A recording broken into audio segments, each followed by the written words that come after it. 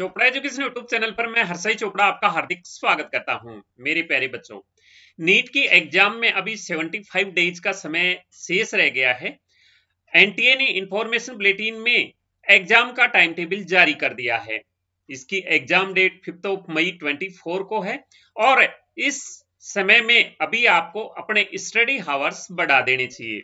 यानी कि जितनी हावर्स की आप अभी स्टडी कर रहे हैं उसमें कम से कम आप टू से थ्री हावर्स और इंक्रीज कर दीजिए। अगर हम मैक्सिमम हावर्स की बात करें तो आपको 15 हावर्स डेली स्टडी करना चाहिए।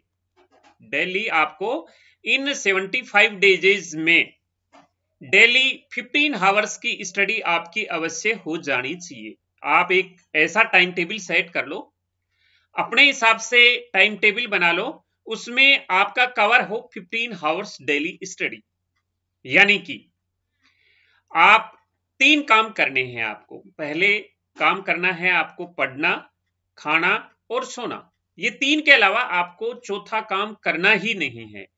तीन में अगर आप 15 हावर्स स्टडी करते हैं तो आपके पास में बाकी जो शेष हावर्स बचते हैं, वो नाइन हावर्स आपके पास में बच जाते हैं। इन नाइन हावर्स में सिक्स हावर्स की आप स्लीपिंग करें और बाकी थ्री हावर्स जैसे कि आपका खाना खाने में या फिर अदर रिक्रेशन में आपका थ्री हावर्स आप स्पेंड करें। तो टोटल आपके ट्वेंटी फोर हावर्स में आप अभी फिफ्टीन हावर्स आसानी से स्टडी कर सकते हैं और ये स्टडी हावर्स आपको बढ़ाना ही है। क्योंकि अभी एग्ज़ाम डेट नज़दीक आ चुकी है। ये जो आपको 75 डेज़ का समय लग रहा है, बहुत ज़्यादा लग रहा है, लेकिन ये कुछ भी नहीं है। इस समय में आपको अभी रिवीजन करना है। अभी आप, जैसा कि 29 फरवरी 24 तक अपने सिलेबस को आप कंप्लीट कर लें, जितना जल्दी सिलेबस हो सके, उतना जल्दी कंप्लीट कर लें, फिर आपके पास में समय बचेगा 60 डेज़ का। यानी कि दो महीने के समय में आप टेस्ट सीरीज़ की प्रैक्टिस करें। टेस्ट सीरीज़ की प्रैक्टिस के लिए क्वेश्चन प्रैक्टिस भी करें करें अलग से, और कम से कम दो टेस्ट डेली के तो आपको देने ही देने हैं। अभी जो टेस्ट का शेड्यूल रहेगा, वो आप एनटीए के शेड्यूल के अकॉर्डिंग रखें। तो एनटीए ने जो एग्जामिनेशन का शेड्यूल जारी किया है, एक बार उस पर नज़र डाल लेते हैं हम। जैसा कि हम देखते हैं यहाँ टाइमिंग और ड्यूरेशन ऑफ़ एग्जामिनेशन क्या है ये टाइमिंग दो बजे से लेके पाँच बज के बीस मिनट दोपहर। ये टाइमिंग है इसका।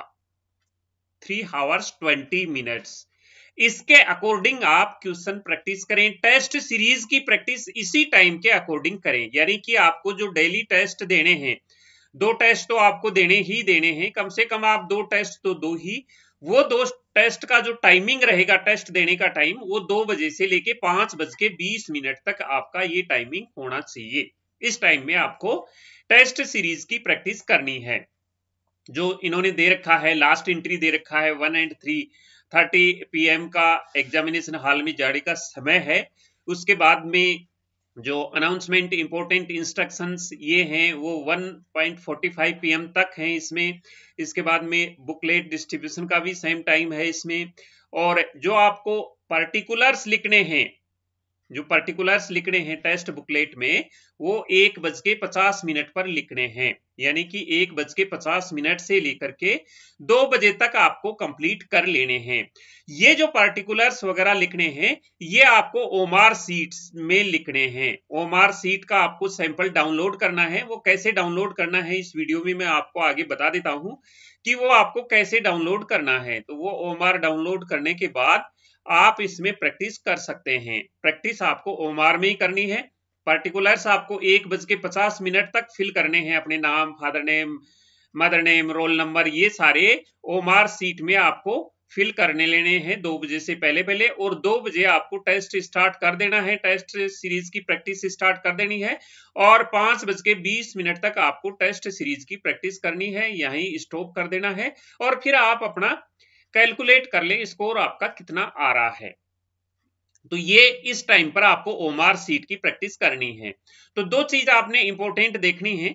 सबसे पहले आप स्टडी हावर्स को इंक्रीज करो। ये कम से कम आपका 15 हावर्स होना ही चाहिए। डेली 15 हावर्स चाहिए, होना चाहिए। मैं गारंटी के साथ कहता हूँ कि आपको इस एग्ज़ाम में कोई रोक नहीं सकता। आपका स्कोर कमाने से कोई नहीं रोक सकता। अगर आप इसके मुताबिक ये 75 डेज़ में आप तैयारी कर लोगे तो आपका श्योर सिलेक्शन है। मैं गारंटी के साथ कहता हूँ, आपका श्योर सिलेक्शन है आप मेहनत करोगे, ज़रूर पास होंगे। ईमानदारी से आपको मेहनत करनी है। तो आप इस टाइमिंग में क्वेश्चन प्रैक्टिस आपको करनी है और टेस्ट सीरीज़ की प्रैक्टिस करनी है। टेस्ट सीरीज़ आप किसी की भी ले सकते हैं। आजकल test series offline test series लें आप। ऑफलाइन टेस्ट सीरीज़ काफ़ी प्लेटफॉर्म्स दे रहे हैं। तो उनसे आप ऑफलाइन टेस्ट सीरीज़ लें और उसकी प्रैक्टिस करें।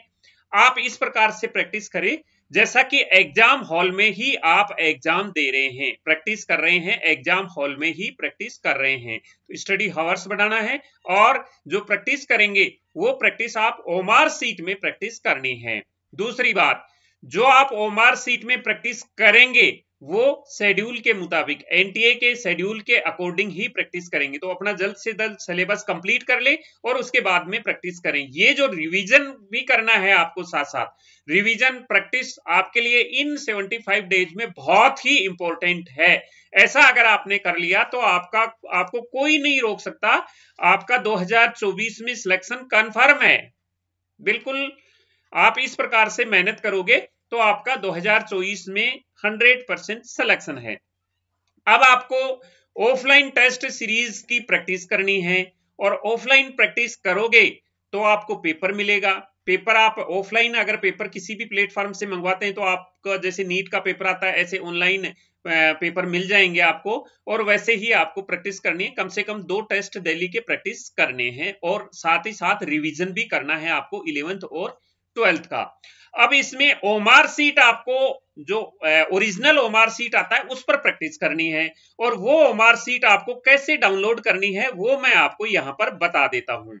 ओमार सीट डाउनलोड करने के लिए आपको सबसे पहले इस लिंक पर क्लिक करना है। ये जो लिंक है, H T T P S इसके बाद में semicolon double slash N T A dot A C dot in oblique download oblique notice oblique notice underscore two zero two one zero eight two zero two three three one two seven dot PDF इस पर आप जैसे ही Google में ये type करोगे तो NTA की तरफ़ से पूरा का पूरा आपको एक इंस्ट्रक्शन मिल जाएगा कि कैसे आपको ओमार सीट फिल करनी है। इस प्रकार का आपको एक इंस्ट्रक्शन मिल जाएगा। तो वैसे मैं आपको यहाँ पर एक बार गूगल में आपको मैं सर्च करके बता देता हूँ क्या क्या इंस्ट्रक्शंस आपको मिलेगा और किस प्रकार से आपने ओमार की प्रैक्टिस करनी है इसमें। तो सबसे पहले इसके लिए आपको गूगल में जाना है। गूगल पर आप एक बार ये जो मैंने आपको बताया है सेम वहाँ पर टाइप करेंगे। इसका जो लिंक है, वो डिस्क्रिप्शन बॉक्स में भी मैं आपको दे दूँगा। डिस्क्रिप्शन बॉक्स से भी आप उस लिंक पर जैसे ही क्लिक करेंगे